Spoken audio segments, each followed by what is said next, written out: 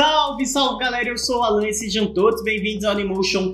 Bora para mais um vídeo de Second Life Ranker, mas antes de começar já deixei o seu like, se inscreva no canal, confira os links da descrição, entra no Telegram, no Discord, demorou. E agora, sem dar os recados, bora logo pro vídeo. Bora lá então, mano, capítulo 77, né, e um resumão basicamente é... Caim entrou no, na tribo, entrou basicamente, né, na tribo de um chifre, virou discípulo do rei marcial, aprendeu tudo que podia, meteu o pé no rabo dele. Mentira, não meteu o pé no rabo dele, né?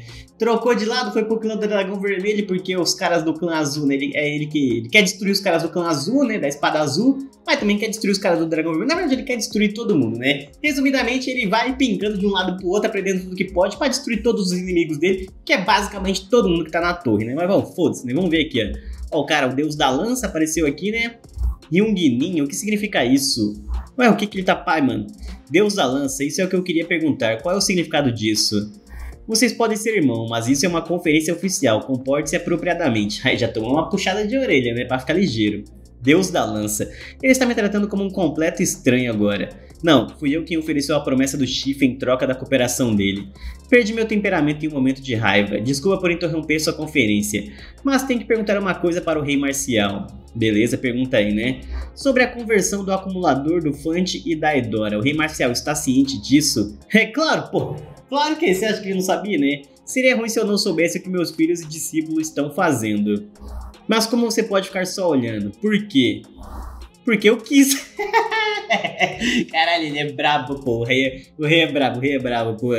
Porque eu quis, né? É uma pena que isso tenha afetado o clã da Espada Azul. Mas nossa tribo não interfere nas escolhas individuais. As ações deles são responsabilidade deles próprios e não da nossa tribo.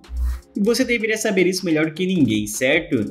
Ai, porque ele apostou o chifre dele e ele entrou cano da espada azul, tá ligado?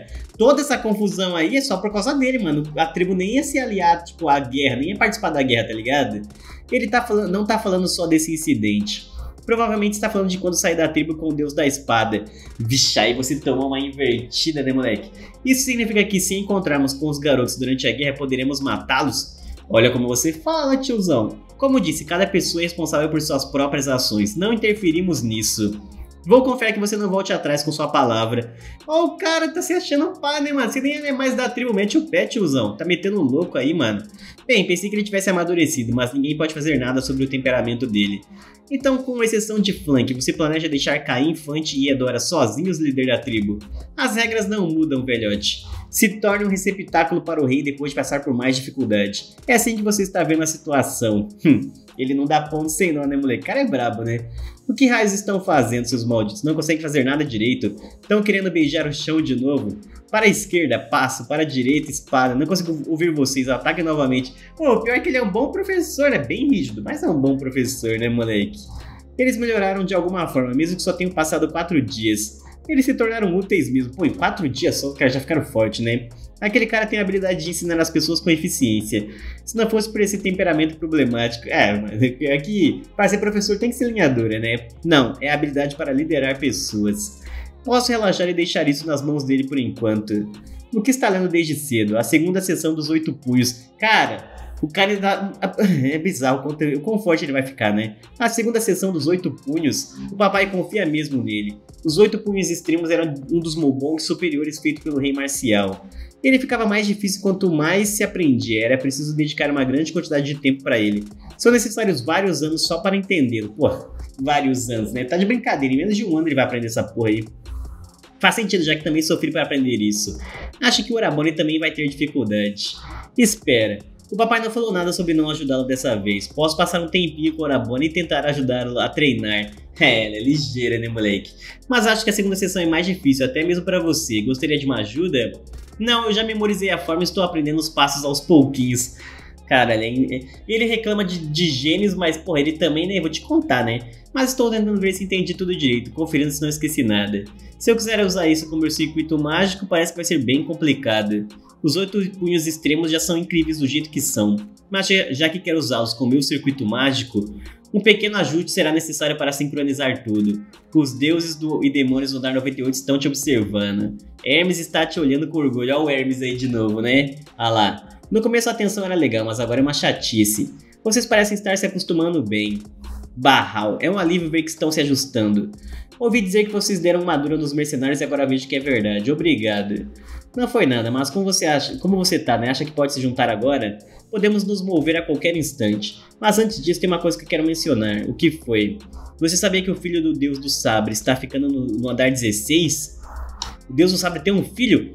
Como é que o Caim sabe disso, mano? Até mesmo no plano da espada azul, Deus do Sabre era conhecido por viver e respirar pela espada. Ele se concentrava apenas em ficar mais forte, e era bem conhecido por não se aproximar de mulheres durante toda a sua vida. E pensar que esse mesmo Deus do Sabre teria um filho? Você sabia que o Deus do Sabre está passando por dificuldades esses dias pela falta de seu poder mágico? Isso era algo que apenas os superiores especulavam. É verdade, isso tem algo a ver com a criança que ele está escondendo. O filho do Deus do Sabre nasceu com dificuldades. Dizem que o corpo dele não pode armazenar poder mágico. Me, não importa que tipo de remédios ele traga, sem magia tudo acaba sendo inútil, sempre inútil. Em um ambiente normal seria tranquilo, mas na torre é algo fatal. E já que o deus do sabre tem vários inimigos, azedou para ele e pro filho dele, né? Ele teria que encontrar uma forma de esconder e curar o filho ao mesmo tempo. Ele continua usando o poder mágico para curar a doença do filho, é assim que devo interpretar isso? É tudo que eu sei. O motivo pelo qual Deus do Sabre caçou as quatro bestas lendárias provavelmente está relacionado com o tratamento do seu filho. Ah, ele queria pegar o poder das bestas para tratar o filho, né? Ele não tem motivos para recusar se o clã da espada o deixar ficar com o Neidan e com os corações. Tenho que fazer tudo o que for preciso para recuperar o Neidan e o coração da Fênix que ele consumiu. Essa informação realmente atrai meu interesse, mas qual é a fonte dela? Ah, a fonte sou eu, sou eu, né, moleque? Cala a boca. Essa informação veio do diário. Ah, é do diário do irmão dele, mas foi algo que descobri enquanto estava com a tribo de um chifre. Pode ser uma armadilha, quer você queira ou não. Tenho plena convicção de que isso não pode ser informação falsa. E é por isso que eu vou. Como assim, mano? Vai? Sim, garanto que você sendo aquele que ordenou essa estratégia terá grandes benefícios com isso. Ele está dizendo que me dará toda a honra caso tenha sucesso. Ah, enchendo a bola do bazar, né? Um mês atrás você agia como alguém que não obedeceria às ordens de ninguém. Percebi que o mundo era um lugar frio durante esse incidente. Ah, metendo louco, né, mano? Pra cima de mim. Você tem uma boa percepção, é preciso se manter aquecido em um lugar frio. E de agora em diante você só poderá esperar por dias quentes de primavera, se é que você me entende, né? Me lembrarei do que você disse, dias quentes de primavera, né, seu safado? E pergunto se esses mesmos dias virão para você. Pior que ele, ele guarda um rancorzinho pá, né, mano, dentro dele. Bora lá, mano, capítulo 78. As ordens chegaram para o time 2. Temos uma missão. Ele vai atrás do filho do deus do sabre, né? Como nosso plano de capturar o filho do Deus do Sabre poderiam vazar, mantivemos isso em segredo. Nossa missão é uma emboscada. As tropas do clã, da, do clã Azul estão é, estacionadas no andar 16. Mas tem uma coisa que queria mencionar antes de partirmos. Ainda não completei os desafios até o 16 andar. Puta merda, verdade, ele parou no 11 primeiro. Aí é foda, né? Esse é o 12 andar, o caixão dos andarilhos. É bom que ele vai usar o exército para subir de andar mais fácil, tá ligado? O desafio do 12 andar começou. Este lugar se tornou uma terra da morte, cheia de cadáveres de guerreiros onde nem mesmo a grama consegue nascer devido à falta de água causada pela seca. Cruze essa terra da morte usando apenas seus poderes. Se tiver a força e motivação para fazer a travessia, você será capaz de manter o equilíbrio em qualquer teste que enfrentar no futuro. Ah, fácil, né, moleque? E pensar que eu voltaria para cá. Não posso acreditar que os rumores eram verdade. É tão quente aqui, é o chip como vai, né? A partir do 12 andar, os ambientes se tornam piores. E os testes estão sendo sobre superados. Isso pode ser óbvio, mas existem peças secretas raras que não podem ser encontradas em nenhum outro andar. Ha! Como sempre, ele vai sugar tudo que pode dos andar, né? Uma delas era a joia de fogo. Se eu for conquistar algo tão grandioso, então posso também acabar pegando tudo que encontrar pelo caminho. Como sempre, vai acumular tudo, né? Caralho, ele vai usar ainda, ainda vai usar o exército, né? Com a ajuda do dragão vermelho. Meu Deus, ele é muito canalha, velho. Então, dentro do tempo limite, encontre o item e venham para o 13 andar. Enquanto isso, irei cruzar o grande deserto. Sim, senhor. Mano, vai usar os caras de escravo, mano. Caralho, que maluco. Aí, vai mandar como? A tropa dos esqueletinhos, né? Olha lá. Com isso vai ser fácil descobrir se tem um espião. E Messi, por que eles te obedecem tanto? É, o medo, né, mano? Não tenho certeza. Então, o que eles vão encontrar? A joia de fogo. Joia, o que é isso? Uma coisa gostosa. Hum, sério? A joia de fogo seria definitivamente gostosa pro chip e saudável também. Daria metade dela pro chip e outra metade para os espíritos familiares. Recentemente, os espíritos atingiram o limite de crescimento, por causa do limite do bracelete. Ai, não estão evoluindo mais. Então, outra forma que pensei de ficar mais forte foi o fortalecimento de propriedades. se eu puder dar a eles outras propriedades, vai torar comida nos esqueletinhos, né? Além das propriedades da sombra e do mal que já tem, o motivo pela qual a joia de fogo era especial era por ela ter uma boa pedra for de fortalecimento. É por, e por isso é um bom item para ser, se ter em grande quantidade. Além disso, é possível minerá-lo quanto quiser. Então você tem que me dar várias coisas gostosas. Promete? Oh, o chip tarado quer comer tudo, né? Prometo, não se preocupe. Que soninho, tô querendo dormir. Descansa um pouco, acerto. Quando me acorda quando, chega, quando o lanche chega. Pô, tá parecendo eu falando pra minha, minha esposa, né? Pô, quando o lanche chegar, você me acorda. é tipo isso. A pedra está aqui de novo. Não sei, só sei que é confortável. Peraí, peraí, peraí. O chip dorme na pedra? Caralho, olá. Confortável. Isso, é bem quentinho e macio. É por isso que dá um soninho tão bom. Olha esse pássaro, velho. No começo achei que fosse por causa do fogo da Fênix que está aqui. Mas a energia do chip se acomoda mais rápido dentro da pedra. E é até melhor do que o circuito mágico. Será que devo só completá-lo ou será que devo pensar mais em como me livrar disso? Já que o chip que você está usando não deve fazer nenhum mal a ele por enquanto. Todos os testes foram completos, você conseguiu o milagre de cruzar o grande deserto sem nenhuma baixa. Karma adicional, blá blá blá, né? Não só consegui melhorar minha resistência física a influências externas, mas isso também foi de grande ajuda para melhorar minha propriedade do fogo sagrado. Também instalei núcleos adicionais, agora tenho 108. Cara, bizarro quanto ele acumula os bagulhos, né, mano? Parece que já acabei por aqui. Por favor, espere um instante. Ué, que com o, A gente já fez coelho já, né? Você está igual, igualzinho a quando te conheci no passado, quieto. Você parece estar ocupado, então vou direto ao ponto. Atualmente o jogador Caim está indo em direção ao templo dos, da, dos três Norns, estou certo? Não se preocupe, nós guardiões só existimos para garantir um ambiente melhor para os jogadores. Ah, metendo louco, né? Nós não, não vamos nem incomodá-lo, jogador ou espalhar rumores, então não precisa se preocupar com essas coisas. Lembro que meu irmão até teve dificuldades lidando com os, os guardiões, especialmente com os guardiões dos 10, 12 rankings mais altos.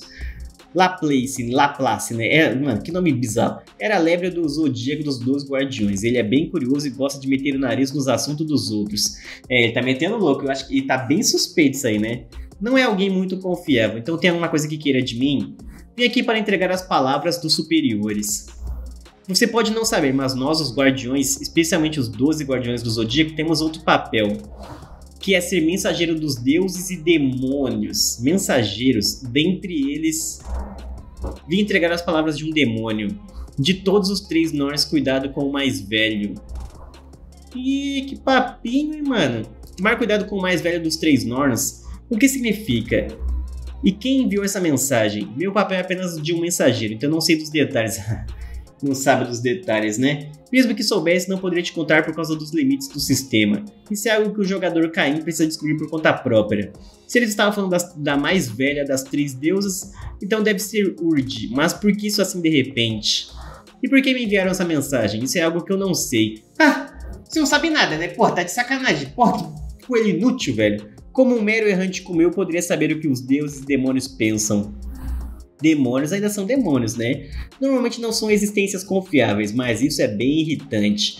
Já estava esperando irritar as três deusas mesmo, né? Como imaginar, você não parece querer escutar. Então espero que siga seu caminho. Mete o louco, né? Coelho de terno nunca dá para confiar. Tomei cuidado, cuidado isso, então no seu caminho até o 16 andar não haverá ninguém para te incomodar. Mano, esse maluco aí tá. Mano, tô me cheirando bem, né? Esse é o 16 andar, portal para a roda da vida. Ah, já passou pelo 13, 14 e o 15, né? Já pulou logo pro 16, colhendo tudo, né? Tirem tudo o que coletaram. Porra, vai roubar tudo dos caras, né? Isso é como do, cobrar o dinheiro pela proteção. Caralho, maluco. Caramba, que maluco folgado, né? Não me diga que o motivo pelo qual eles nos trouxe junto foi para nos transformar em pedintes, certo? Você coletou 182 joias de fogo, 35 cristais e 91 rosas do campo, mano. Barral me deu a cair uma bolsa interdimensional antes de sair do 11 andar. É um artefato mágico com uma magia espacial imbuída de uma pequena bolsa. Ah, o famoso inventário, né, mano? É ela, como inventário, é, exatamente. Se tiverem todos prontos, vamos partir. Capitão, onde as tropas do clã da, da Espada Azul estão localizadas? No templo de Skuld. O quê? Ah, deve ser uma das três deusas que ele falou lá, né? Bom, então é isso aí, rapaziada. Muito obrigado a todos pela presença. Antes de sair, deixa aí o seu like, se inscreva no canal, tudo isso me ajuda muito. Também vire membro, que, pô, aí ajuda mais ainda, demorou? Amanhã tem mais vídeo de Second Life Ranker. Mais tarde tem vídeo de Elecid, como toda terça-feira tem, demorou? Então eu te vejo lá e nós estamos juntos. Valeu e falou!